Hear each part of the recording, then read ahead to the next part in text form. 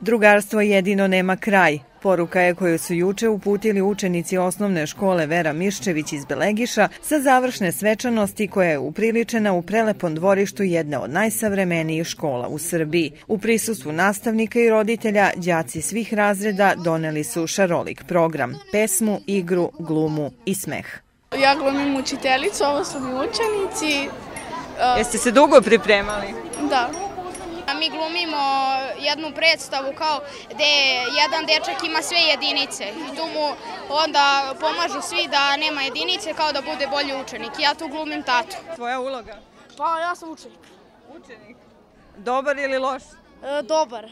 Osnovci iz Belegiša primili su svedočanstva i uglavnom su zadovoljni ocenama i onim što su u protekloj godini naučili. Prosek mi je e, 4.00. Jesi ti zadovoljna? Da. Pa dobre su.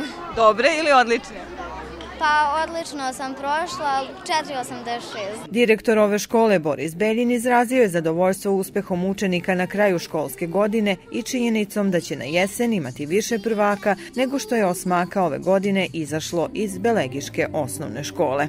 Oko 42, mada mogu da kažem sa velikim zadovoljstvom da u protekle dve godine beležimo slučajeve pozitivne migracije, dakle dolaze ljudi iz Beograda, iz Zemuna, dolaze u Belegiš i u naše e, izdvojeno odeljenje u Surduku upisuju decu, tako da se nadamo da će ih biti možda više od 42 koliko imamo za sada prijavljeno. Škola u Belegišu ovog jula ispratila je 34 osmaka koji su uspešno položili malu maturu i pred kojima je upis u željenu srednju školu.